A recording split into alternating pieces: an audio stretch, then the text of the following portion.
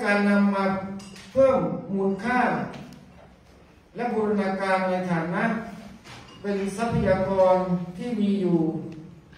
เดิมนะครับ จนภูไพดงเป็นมรดกภูมิปัญญาของชาวไทยเชื้อสายเขมรเป็นสัญลักษณ์แทนความหมายในเชิง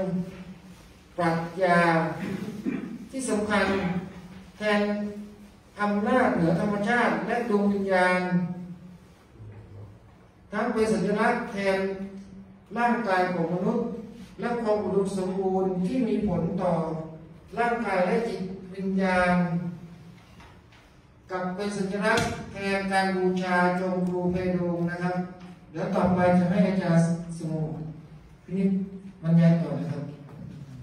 ค่าดูเลยดูเลยคุณค่าของเราตั้งมูลค่า อ่าอาตมาภาพหรือกับผมขอสรุป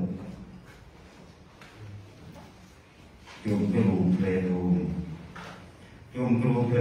โยมโยมครูเพลโดมถือเป็นมรดกภูมิปัญญาของชาวไทยเชื้อสายเขมร ให้ความหมายสำคัญทางปรัชญา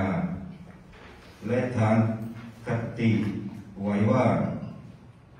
การมาเกิดใหม่